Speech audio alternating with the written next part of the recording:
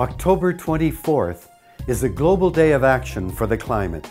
Join me and millions of people all over the world calling on global leaders to sign a strong agreement to safeguard our climate at the UN Summit in Copenhagen this December.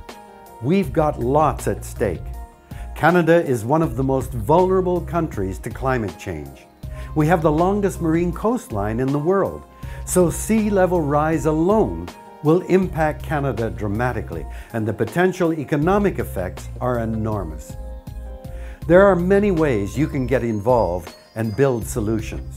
One simple thing you can do is go to our website at davidsuzuki.org and learn more about why global action on climate change is vital for the health of our economy, communities, and our future.